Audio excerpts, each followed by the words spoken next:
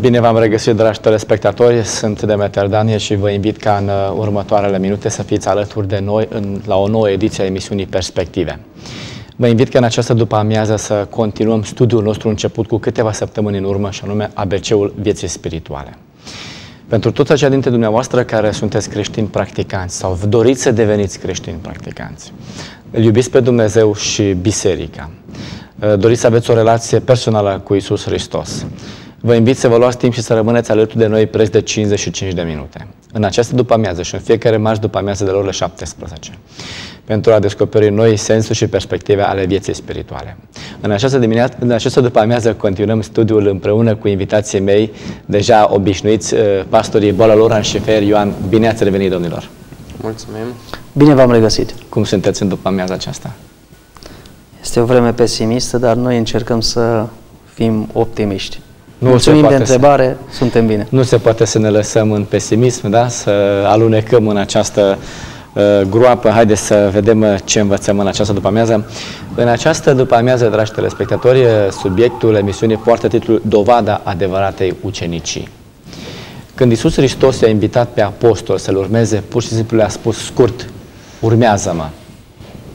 Iar lui Petru și tovarășilor săi le-a spus următoarele – veniți după mine și vă voi face pescar de oameni. Ei fiind pescari, Petru și frații lui, evident. Uh, dovada adevăratei ucenicii. Domnilor, care este dovada faptului că cineva îl urmează pe Isus Hristos? Este vizibil, este invizibil lucrul acesta? Putem nominaliza pe cineva? Putem să uh, observăm anumite criterii, niște evidențe, faptul că cineva îl urmează sau nu urmează pe Dumnezeu? Cum e? Aș încerca în primul rând să înțeleg ce înseamnă ucenic.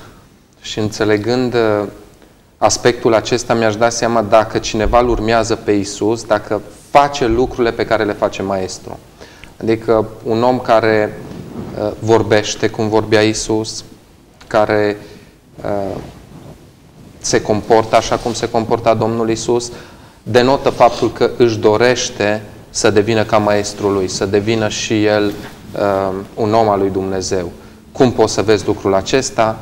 E foarte simplu. În omul acela trebuie să vezi crescând uh, întreg caracterul său. Caracterul. Deci caracterul ar fi un prim indicator al faptului că cineva este sau nu este ucenic al lui Iisus Hristos. Domnule pastor. De asemenea, aș porni de la definirea termenului de ucenic. Uh, termenul grecesc este matetes, cel care învață, cel care este discipol și este dispus să învețe. Uh, societatea noastră de astăzi uh, are oameni care știu totul, cunosc totul, nedoritor să învețe și să asculte de învățător. Uh, Iisus Hristos este discipolul suprem. El este învățătorul suprem. Iar ucenicii la vremea aceea trebuiau să fie cei care învață, cei care sunt urmașii discipolului. De asemenea, astăzi, Dumnezeu, prin cuvântul Său, prin Sfânta Scriptură, este discipolul suprem. Este profesorul. Noi trebuie să studiem acest cuvânt și să fim ucenicii săi, urmașii săi. Așadar, caracterul și disponibilitatea de a învăța ar fi doi indicatori semnificativi ai calității de discipol, de ucenic al unui om. Da? Asta am înțeles. Însă, vreau să vă spun, să vă întreb ceva vis-a-vis de caracter. Greșelile noastre reprezintă o, o, un, o evidență care exclude pe cineva din ucenicie faptul că greșim, că nu este niciun om neprihănit, dar toți greșim într-un fel sau altul. Când cineva greșește, poate să fie socotită acea greșeală o dovadă a faptului că el nu mai este ucenicul lui Iisus Hristos sau nu? E normal în momentul în care încep să lucrezi într-un atelier, să fii ucenic, să faci și greșeli. Mă aduc aminte de un om care în tinerețea lui îmi spunea am început împlăria și primele lucruri pe care m-a pus maestru să le fac a fost să uh, mătur în atelierul său. Mi-a dat o mătură în mână și mi-a zis muncește aici. Și seara mă lăsa să mă uit la el, spunea omul acesta. Uh, la început am făcut greșeli lucrând. Dar dacă greșelile acelea persistă uh, mereu și mereu și nu e nicio dorință de a te întoarce, în a nu greși, în a te perfecționa, atunci aș îndrăzni să spun că da, nu ești un ucenic. Inițial e normal să faci greșeli. Pe parcurs mai poți să mai greșești. Dar dacă tu persiști în greșelile acelea, nu dorești să ți le corectezi, se vede în tine un spirit de revoltă, atunci ai multe de învățat din a fi un ucenic. S-ar putea deja să te crezi maestru. Există oameni care se comportă foarte frumos, manierați, cizelați, culți, învățați, dar care nu sunt creștini. Poate nici nu cred în Dumnezeu. Care este diferența între un om învățat, elegant, manierat, da? cizelat, se vede că știe să se comporte în societate, plăcut la vorbire și la, în relație, și un creștin adevărat care umblă sau care are o relație cu Isus Hristos. Pentru că ambii au câte un caracter ales, sau cel puțin la prima vedere, dar totuși unul este cu Dumnezeu și altul este fără Dumnezeu. Care este diferența semnificativă între ei doi? Și o inimă egoistă poate face acte de generozitate. Că ești cult, că ai o cultură generală, nu înseamnă că ești un adevărat ucenic al lui Isus Hristos. Uh, aș da un răspuns citând două sau trei versete biblice ce înseamnă să fii ucenic autentic al lui Isus Hristos. Un ucenic nu este mai presus de învățătorul său, dar orice ucenic pregătit va fi ca învățătorul lui. Nu e mai presus de Isus Hristos, dar îl urmează, îl copiază pe Isus Hristos. Atunci Isus le-a zis iudeilor care crezuseră în el, dacă rămâneți în cuvântul meu, atunci sunteți într-adevăr ucenicii mei. Veți cunoaște adevărul, iar adevărul vă va elibera. Să rămâi în cuvântul lui Dumnezeu, ancorat în Sfânta Scriptură. Și în al treilea verset, prin acesta vor cunoaște toți că sunteți ucenicii mei, dacă veți avea dragoste unii pentru alții. Ei, cultura generală nu este totul. Ucenicia înseamnă puțin mai mult. Înseamnă Sfânta Scriptură, înseamnă caracterul Domnului Isus Hristos și înseamnă dragoste unii față de ceilalți. Înseamnă o religie, o religie nu doar a minții, ci o religie a inimii. Mulțumesc! Uh, co- convertirea este definită ca fiind aderarea la o anumită convingere și se continuă în dicționarul explicativ al limbii române, o convingere religioasă. Nu e tot una să dai locul în autobuz pentru că ai citit în uh, în regulile de bune maniere că trebuie să faci lucrul acesta sau să faci lucrul acesta dintr-o convingere că tu trebuie să-i ajuți pe oameni. Cel mai important este motivația pentru care faci un anumit lucru. Un uh, creștin autentic va fi motivat de iubirea față de semenii lui. Când va face un gest simplu, dau locul în autobuz unei alte persoane sau ajut o doamnă în vârstă, un om manierat poate să nu aibă absolut nimic de a face cu Scriptura. același gest. Face aceleași gesturi, dar când va fi pus în fața unei încercări în viața lui, unei provocări mari, uh, întreg caracterul său va ieși la suprafață și va demonstra motivul pentru care face anumite lucruri. Da. Uh, spunea cineva următoare, am citit de două rânduri foarte inspirate, mi-a plăcut foarte mult. Caracterul nu se dă pe față prin faptele bune sau rele pe care le facem ocazional, ci prin tendința continuă dezvoltată în viața noastră și implementată în mod sistematic. Sunteți de acord sau nu? Uh, caracterul nu iese la iveală atunci când faci fapte bune sau fapte rele, ci caracterul iese la iveală prin tendința continuă manifestată în cuvintele și în faptele noastre zilnice, prin obiceiurile noastre, deci nu fapte bune sau rele ocazionale, ci o viață zilnică, continuă de obiceiuri și practici religioase. Înseamnă, de fapt, o relație autentică cu Hristos și reflectăm chipul lui Hristos. Nu ocazional, ci din obicei deja. Da. Uh, fără discuție, convertirea, care este un concept biblic, joacă un rol cheie în ucenicia noastră vis-a-vis -vis de sau față de Isus Hristos. Un om convertit devine ucenic, un om neconvertit rămâne un om manierat, învățat, cizelat, elegant, dar care nu îl are pe Isus Hristos în viața lui. Acum, Vreau să vă confrunt cu o situație specială. S-ar putea ca unii oameni să nu poată să precizeze exact timpul și locul convertirilor. Adică, unii oameni au o experiență puternică în care îl întâlnesc pe Dumnezeu și poate să spună, da, domnule, l-am întâlnit pe Dumnezeu în situația cu tare. Atunci mi s-a întâmplat în viață cu tare și cu tare lucruri, am avut o experiență puternică, am înțeles niște lucruri pe care până atunci nu le-am înțeles, am văzut Scriptura într-o altă lumină, am cunoscut adevărul biblic și așa mai departe. Există persoane care nu știu sau nu pot să facă lucrul acesta, nu au, nu au o, în amintirea lor, în experiența lor, un moment zero care să reprezinte începutul convertirilor. Lipsa unui asemenea moment zero, unei experiențe puternice, poate să reprezinte dovada că ei nu au fost convertiți sau pur și simplu există și alte căi prin care convertirea poate să intre în viața omului, poate să spunem așa, ușor neobservabil.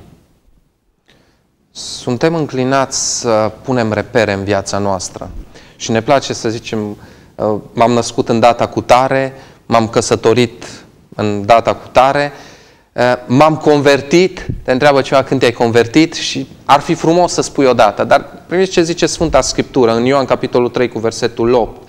Vântul suflă încotro vrea și auzi vuietul, dar nu știi de unde vine, nici încotro merge. Tot așa este cu oricine este născut din Duhul.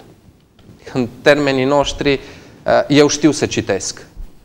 Dacă mă întreabă cineva când ai învățat să citești, nu o să pot să zic lucrul acesta. Știu că am învățat într-o anumită zi litera A, altă dată am învățat o altă literă. Dacă mă va întreba cineva când ai citit... În ce zi ai învățat să-mi citești, da? da? E greu de știut. Când te-ai convertit? Poți să spui repere din viața ta care te-au determinat ca la un moment dat să te convertești. Am auzit o predică bună, am citit un uh, text din Sfânta Scriptură în care m-a condus spre Dumnezeu, dar în viața noastră Dumnezeu lucrează pas cu pas. Și astăzi uh, clădim un, mergem un drum spre pocăință, mâine mai mergem puțin spre pocăință și acești pași uniți împreună uh, definesc viața noastră spirituală. Da. Cum vedeți lucrurile, domnule pastor? Consider că această convorbire, uh, convertire despre care noi vorbim nu este un act uman, omenesc. Adică nu eu sunt cel care uh, fac acest proces sau uh, derulez acest proces. Uh-huh. Este actul Duhului Sfânt de transformare în viața omului.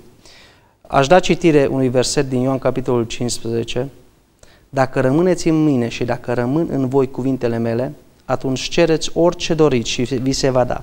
Tatăl meu este prosăvit prin aceasta, prin faptul că voi aduceți mult rod și deveniți ucenicii mei.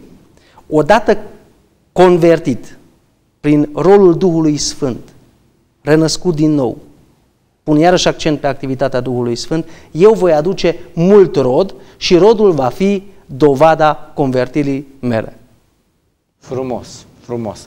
Așadar, dacă cineva nu poate să identifice un eveniment, o zi sau o împrejurare concretă în viața lui ca fiind sau reprezentând debutul vieții lui spirituale și a convertirii lui, asta nu înseamnă că el a rămas un om neconvertit. Și pur și simplu, ă, experiența lui spirituală a avut o altă traiectorie. Sunt oameni care au avut experiențe puternice în viața. Știu eu, o întâmplare, un eveniment în familie, o, poate un accident în care Dumnezeu le-a păstrat viața sau nu știi niciodată ce s-a întâmplat în viața lor. Și ei spun, de atunci eu l-am urmat pe Dumnezeu, mi-am predat viața Lui, în timp ce alții nu știu, domnule, așa, pe neobservate, viața mi s-a schimbat. Eu cred că nu există nicio diferență între cele două experiențe, sau nu? Văd, văd greșit? Nu, aș îndrăzni să spun vis-a-vis -vis de persoanele care ați amintit, au avut un uh, accident care le-au determinat viața la un moment dat, uh, aș îndrăzni să spun că aceste persoane au avut un punct de cotitură mai degrabă decât un moment de convertire în acea, uh, în acea Care clipă. e diferența? În momentul în care la un moment dat în viața ta ți se întâmplă un eveniment, stai și spui unele întrebări. Și de acolo începând, începi să crești în experiența ta. Asta ar fi diferența. Pe când convertirea înseamnă un genunchi plecat în fața lui Dumnezeu, un studiu real al Sfintei Scripturi, sunt niște pași care îl definesc pe om nu doar într-un moment greu al vieții lui, ci pe parcursul întregii lui vieți de acolo înainte. Da, mi-a rămas în minte versetul pe care l-ați citit, uh, uh, comparația cu vântul. Da, vântul ca fenomen al naturii, ca să fie foarte exact. Vântul bate și nu știi de unde vine, nu unde merge. Uh, Iisus Hristos folosea această comparație, această ilustrație prin care vrea să vorbească despre convertire. Cu, după, după cum vântul este atât de tainic pentru noi, încât nu-l vezi, nu-l auzi, auzi doar efectul, dar nu auzi vântul. Da? Uh, tot așa și convertirea. Acum, s-ar putea ca cineva să spună, eu sunt un om convertit. Da? Eu îl iubesc pe Dumnezeu, Isus este al meu, merg în fiecare zi cu Isus, uh, dar în viața lui nu se sizezi foarte multe deosebiri de viața altor oameni care n-au pretenția aceasta. Viața lui se aseamănă cam tot cu viața celor care n-au pretenția că sunt convertiți și îl ascultă pe Dumnezeu. Întrebarea mea este următoarea. Ascultarea. Ce reprezintă ea și ce rol are ea în experiența convertirii și a umblării cu Dumnezeu? Un ucenic, dacă nu ascultă de învățătorul său, nu va fi niciodată ucenic. Un elev, mai bine Poate spus. se crede ucenic. Deci, condiția esențială, indispensabilă a uceniciei este ascultarea și supunerea. Noi suntem lipsiți de experiență. Chiar dacă ne credem de multe ori foarte deștepți, infailibil. Doar Dumnezeu este infailibil și El este desăvârșit și atot înțelept. El ne poate învăța ce înseamnă viața de ucenic, ucenic autentic. Și aici ascultarea, supunerea, ceea ce nu ne place de foarte multe ori, vedem la copiii noștri. Ca părinte văd lucrul acesta. Uh-huh. Copiilor nu le place să asculte. Mai degrabă ascultă de prieteni, de colegi și așa mai departe. E mai greu să asculți de părinte. Uh, tot așa și în viața de credință. De multe ori ne răzvrătim, nu ne place să ne supunem. Însă supunerea și ascultarea ne va face ucenici autentici. Domnul Feier, fără ascultare poți să fii cu adevărat ucenic sau e doar o impresie? Aș îndrăzni să spun că e chiar fanatism religios. Să ai impresia că tu ești ucenic, că ești convertit, dar să nu asculți. Și aș da aici exemplul uh, armatei de rezistență a Domnului. Oamenii aceștia desfășoară activitatea în țările din Africa, Uganda, Congo, uh, au la activ până în momentul de, de față 66.000 de răpiri de copii. Și omul acesta spune următorul lucru, liderul lor. El vrea să instaureze pe tot globul o lege a celor 10 porunci. Cine este, spune, scuze că intervin, cine uh, sunt ăștia? Armata de rezistență a Domnului.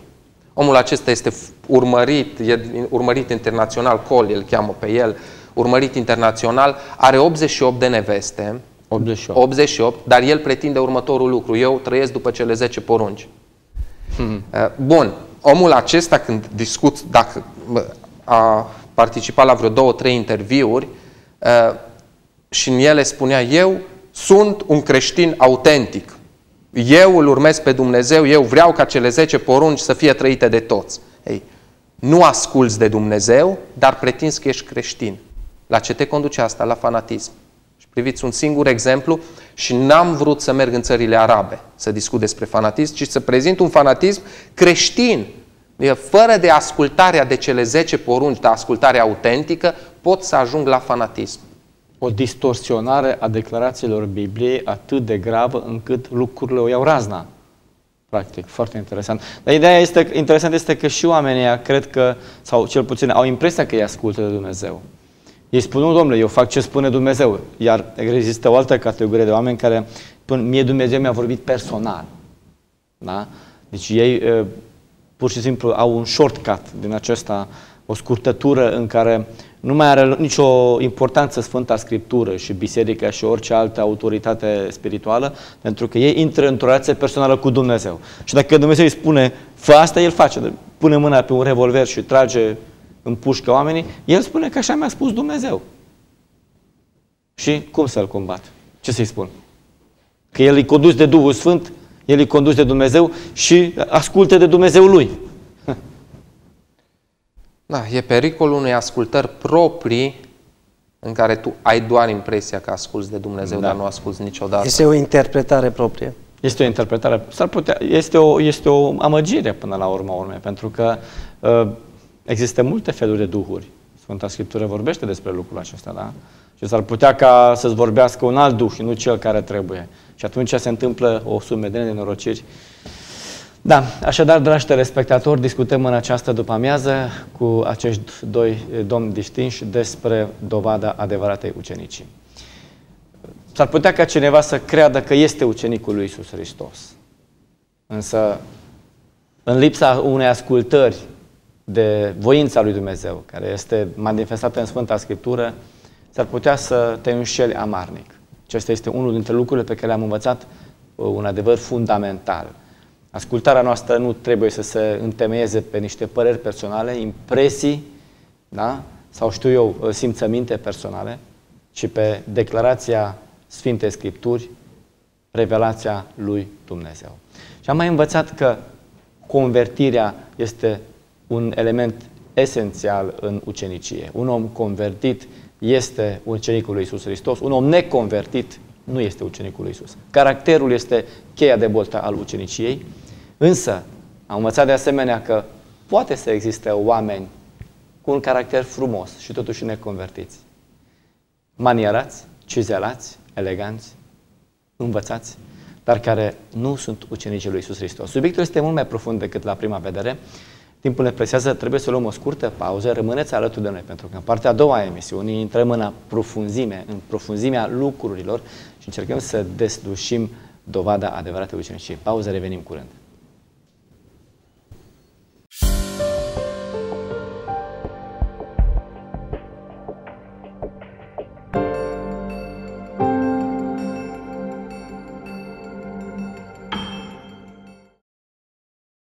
Am revenit, dragi telespectatori. Suntem uh, din nou în direct alături de dumneavoastră aici la Someș TV, în cadrul emisiunii Perspective. În această după-amiază uh, învățăm despre dovada adevăratei ucenicii. Experiența cu Dumnezeu și relația cu Isus Hristos trebuie să fie una vizibilă. Atunci când ea nu este vizibilă, se ridică semne de întrebare foarte serioasă. Este această experiență autentică sau este doar o autosugestie? Atunci însă când uh, faptele demonstrează o experiență personală cu Dumnezeu, caracterul se transformă și omul devine o altă persoană. Acesta este practic mesajul creștinismului. Acest mesaj se transmise toate bisericile creștine și însăși esența creștinismului. Discutăm în această după-amiază cu pastorii Bolo Loran și Ioan Feyer despre acest subiect. Domnilor, vă invit să continuăm uh, dezbaterea începută în urmă cu câteva zeci de minute. Acum, Vreau să vă întreb uh, o chestiune care pe mine mă frământă.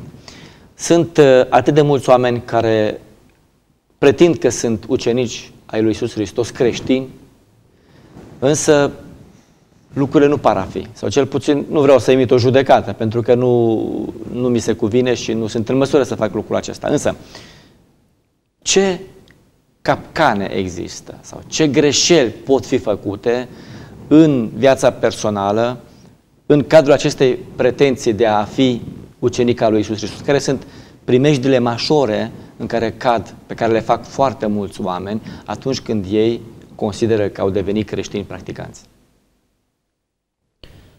Greșeala majoră este cea în care omul, odată știind că este ucenicul lui Hristos, încearcă să demonstreze lucrul acesta prin multe și multe fapte bune.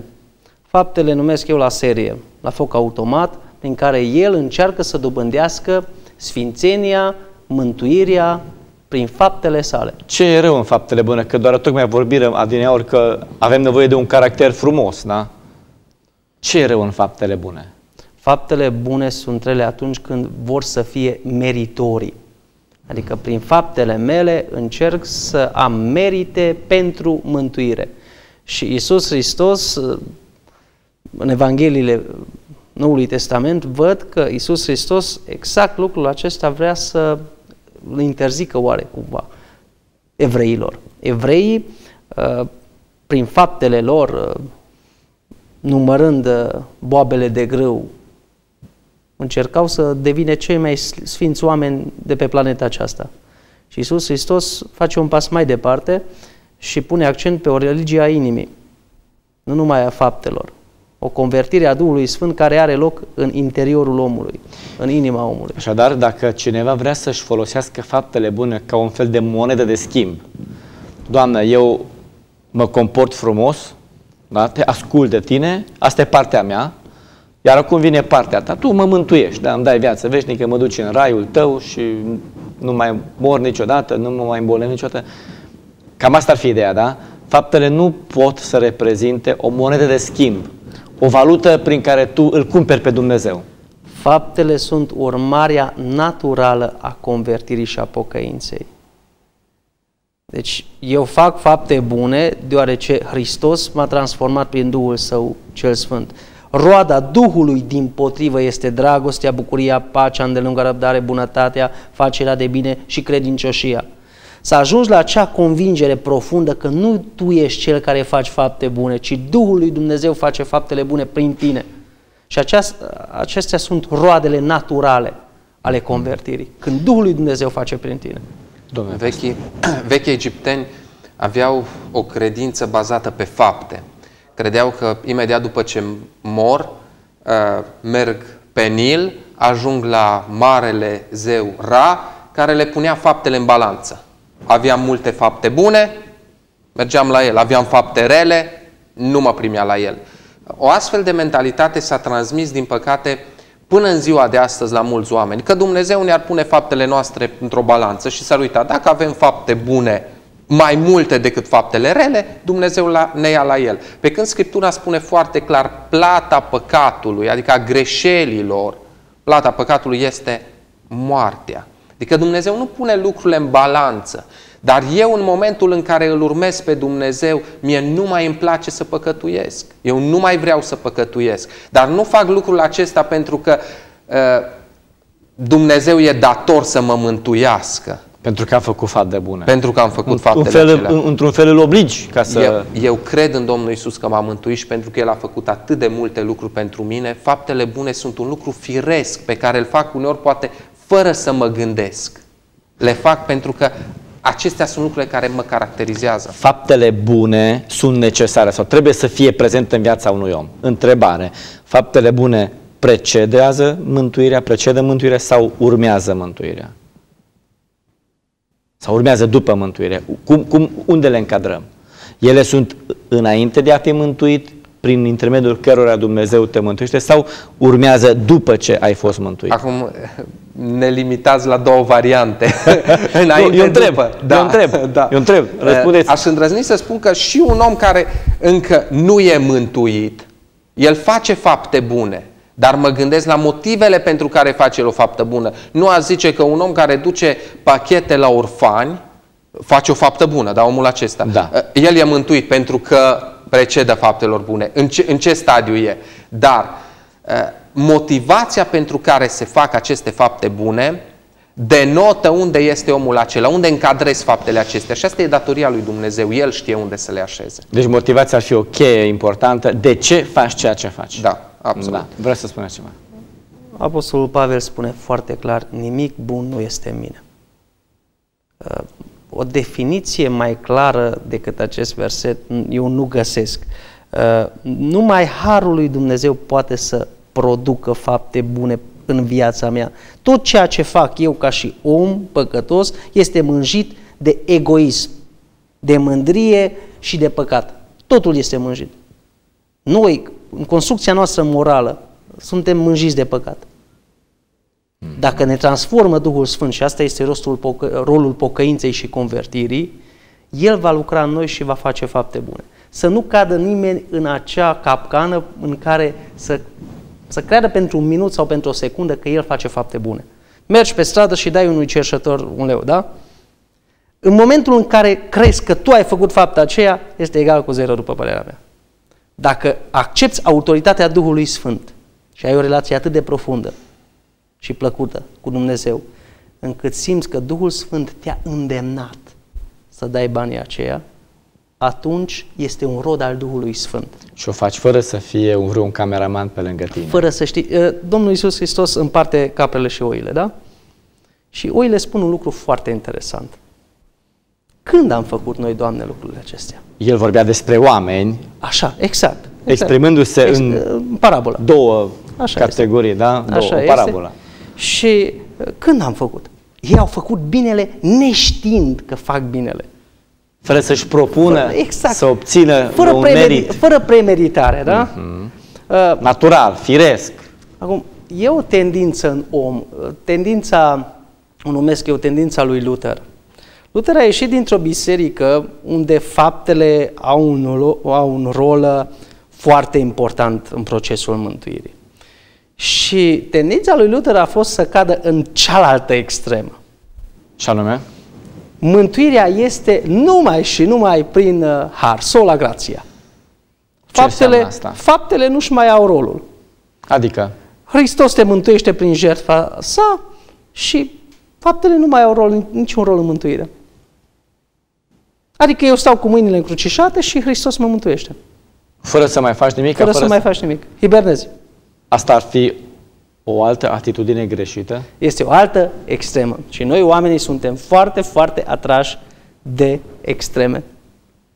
Bisericile pot fi împărțite în două extreme. Una, o, o extremă este cea a mântuirii prin fapte și sunt multe biserici care pot fi puse în această categorie.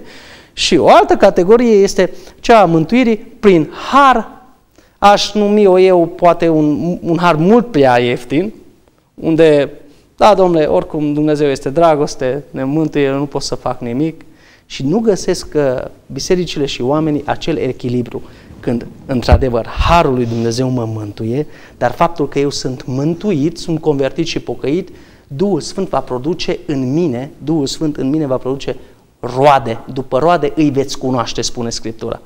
Mhm. Domnule pastor, mântuirea este doar prin credință, fără fapte sau și fapte? Sau până la urmă, haideți să le limpezim puțin, că uite, ne încurcăm aici în lucrurile astea. Dar ce frumos spune Galaten 5, 22 cu 23, vorbind despre roadele Duhului Sfânt și le, le numește. Dragostea, bucuria, pacea, îndelunga răbdare, bunătatea, facerea de bine, credincioșia, blândețea, înfrânarea po- poftelor, iată roadele. Nu? Uh, ai- Există un copac fără roade. Are vreun rost să existe? Face Probabil umbră. că are. Face umbră și îl pui pe foc. Dar rostul unui pom este să dea rod. Care este rostul unui creștin care se numește doar creștin? Să fie trecut undeva în statistică? Să spunem că suntem 90% din populația României eh, creștini? Doar atât? Cu ce ne face mai bun? Cu nimic. Roadele definesc un creștin autentic. Și iată care sunt acestea. Dragostea, frânarea poftelor, facerea de bine. Ele se prind. Practic, aceste roade demonstrează că cineva este un om convertit. Categoric. Corect. Și că îl urmează pe Dumnezeu. Asta În, e în momentul în care aceste roade lipsesc din viața cuiva, uh, convertirea lui, experiența lui de convertire este extrem de îndoielnică. Este sau nu este? Sau doar este o autosugestie? Înțeleg Domnul bine? Iisus spunea, după roadele lor îi veți cunoaște. Eu îmi Da. dau seama dacă cineva e convertit, mă uit la roadele pe care omul acela le are. Spuneați, domnule pastor uh, Laurent, că oamenii sunt uh, foarte atrași de extreme. Acum trebuie să vă mărturisesc că sună foarte frumoasă, frumos ideea aceasta de mântuire prin uh, har și numai prin har, în care noi nu facem nimic. Da? Dumnezeu este puternic, noi suntem păcătoși, El uh, a murit pentru noi prin Isus Hristos, noi nu facem altceva decât să cântăm, ne rugăm și mergem în cer. Nu mai avem nimic de făcut, pentru că El a făcut totul. Care este viciul în această idee? De ce nu e corect așa? Uh, Aș fi foarte corect dacă aș aminti și faptul că Luther a mai subliniat și un alt principiu, uh, și anume sola fide. Ce înseamnă numai, asta? numai și numai credința.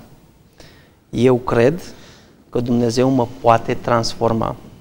Și odată crezând lucrul acesta, chiar se întâmplă și Dumnezeu mă transformă, Duhul Sfânt devine uh, un principiu activ, o persoană activă în viața mea și printr-o relație constantă cu Dumnezeu, eu voi fi în stare să fac fapte bune, pentru că am legea lui Dumnezeu, nu doar în minte, ci și în inimă.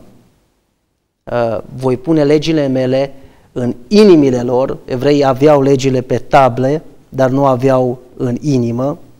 Exact acest principiu este valabil și în Noul Testament. Legea lui Dumnezeu nu se schimbă niciodată, ci își găsește un alt loc în inima omului, acolo unde eu, prin puterea Duhului Sfânt, fac fapte bune, ca și roade ale Duhului Sfânt, roadele pe care uh, le-a enumerat colegul meu. Din Galaten. Din, din Galaten. Da. Și nu numai, sunt o mulțime de roade. Mai avem din ce în ce mai puține minute și mai sunt multe lucruri de vorbit. Aș vrea să vă întreb uh, într-o altă ordine de idei următorul lucru. Există unii oameni care se îndoiesc de experiența lor. Nu au certitudinea sau siguranța convertirii. Nu poate să își dea seama concret, sunt eu un ucenic sau nu sunt. Și trăiesc într-o îndoială din ce în ce mai acută. Cum putem să scăpăm de aceste îndoieli? În așa fel încât să dobândim siguranța, da, Isus este al meu, este cu mine, nu trebuie să fie îndoieli, este deasupra oricărei întrebări. Da, îndoiala este opusul credinței. Cum aș putea să nu mai am îndoială? Dacă am un pahar care este gol, cum aș putea să fac să fie plin? Am pus ceva în el, l-am umplut. Cu ce îl umplu? Pun îndoiala deoparte și l-am umplut cu credință. Fără de credință, îndoiala aceasta va fi permanent în viața omului. Omul care nu-L are pe Dumnezeu și pe Duhul Sfânt care să-ți dea certitudinea unei experiențe reale cu Dumnezeu, un astfel de om uh, va trăi mereu și mereu în îndoială. E normal ca în anumite momente din viață să ai îndoieli, să ai unele întrebări, unele frământări, dar când te-ai apropiat de Scriptură, frământările acelea trebuie să fie șterse. Da, e ușor de spus să înlocuiești îndoiala cu credință, e mai greu de făcut. Ce ziceți da. asta? Eroii Bibliei, Avram, Iacov, Iosif, toți au avut o încredere și o credință neclintită în puterea lui Dumnezeu. Am și exemple, uh, alte exemple negative. Uniona, un om care s-a îndoit de puterea transformatoare a lui Dumnezeu. Uh, a vrut să fie, facă chiar pe dos, da? O altă direcție. Atunci când te îndoiești, de fapt, uh, nu mai ai niciun sprijin. Când te îndoiești în Dumnezeu, tu ai impresia că poți să rezolvi tu problema. Ai încredere în propriile resurse și în propria putere. Și e o capcană mare. Singura noastră șansă pe care o avem în dreptul mântuirii este să te încrezi fără îndoială, neclintit în puterea lui Dumnezeu.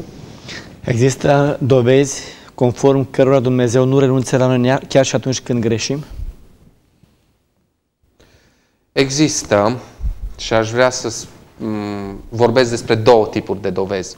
Unul dintre ele sunt promisiunile pe care le face Dumnezeu copiilor săi, în care noi trebuie să credem. Iată, de pildă, 1 Ioan 2 uh, cu versetul 1 spune Copilașilor, vă scriu aceste lucruri ca să nu păcătuiți. Dar dacă cineva a păcătuit, avem la Tatăl un mijlocitor pe Iisus Hristos cel neprihănit. Uh, de asemenea, Romani 5 cu 8 și textul acesta îmi place foarte mult, spune Dar Dumnezeu își arată dragostea față de noi prin faptul că, pe când eram noi încă păcătoși, Hristos a murit pentru noi. Iată o primă dovadă că Dumnezeu, chiar și când nu merităm, când am greșit, El vine lângă noi și dorește să ne uh, salveze. Promisiunile lui Dumnezeu ar fi primele lucruri pe care m-aș baza. A, al doilea lucru pe care m-aș baza în, uh, într-o uh, experiență este uh, viața mea anterioară. Viața mea anterioară îmi poate spune că da, Dumnezeu nu mă părăsește, chiar dacă am mai greșit. Și aici aș uh, pune experiențele pe care le-am auzit și de la alți oameni, oameni care au greșit pe parcursul vieții și au zis Dumnezeu m-a căutat acolo unde am fost, mi-a întins o mână și m-a salvat. Mulțumesc, făgăduințele și experiențele, domnul Bolo, avem puțin de tot. Dumnezeu nu renunță să ne cucerească din nou. Uh, pilda fiului risipitor. Un fiu se întoarce, cel risipitor, cel mic se întoarce, este în casă, este mare sărbătoare și tatăl îl pierde pe celălalt. Și mă uit la acel tată care începe procesul din nou și rea acest proces de recâștigare al unui om care greșește, care păcătuiește. De data aceasta depune eforturi pentru cel mare. Depun, depune eforturi pentru cel mare. Uh, e profesia de bază a lui Dumnezeu, dacă aș putea să o numesc așa. Căutarea noastră. Căutarea omului păcătos. Da. Și, și îmi place ace, acest tablou al acestui Mulțumesc Dumnezeu. mult de tot pentru prezența în studio și pentru gândurile frumoase care ni le-ați împărtășit. Mulțumim de invitație. Așadar, suntem la finalul emisiunii din această după amiază, dragi telespectatori. Dovada adevăratei ucenicii. Am uh, avut o dezbatere interesantă cu cei doi invitații ai mei pe marginea acestui subiect. Sunt conștient că nu am epuizat toate ideile ale acestui subiect și mai este mult de dezbătut, mai sunt multe lucruri de spus. Am însă câteva concluzii pe care vreau să le uh, trag împreună cu dumneavoastră. Este posibil să fii urmașul lui Iisus Hristos. Sfânta Scriptură ne învață lucrul acesta. Ascultarea este una dintre dovezile evidente ale uceniciei. Creștinismul trebuie să fie practic și nu doar teoretic, fapte și nu doar scriptic. Așadar, suntem chemați să avem o relație personală cu Isus Hristos, iar rezultatul acestei relații să fie o ascultare de plină. Ascultarea de voința lui Dumnezeu, de legile sale, de descoperirea din Scriptură. Este posibil să ne îndoim, însă îndoiala nu reprezintă dovada faptului că Dumnezeu ne-a părăsit, ci doar faptul că suntem oameni. Ne îndoim pentru că suntem oameni. Însă cel care reușește să-și stăpânească îndoiala și să-și biruiască îndoielile și să se agațe de Dumnezeu prin credință, va fi un biruitor. Rămâneți alături de noi și data viitoare, marțea viitoare, de la orele 17, când vom continua studiul nostru, ABC-ul vieții spirituale. Și sper că la finalul acestui studiu să fiți mai aproape de Dumnezeu. Mulțumim pentru că ați fost alături de noi. Sunt Demeter Daniel. Și până data viitoare nu uitați, fără perspective, viața nu are sens. Pe curând!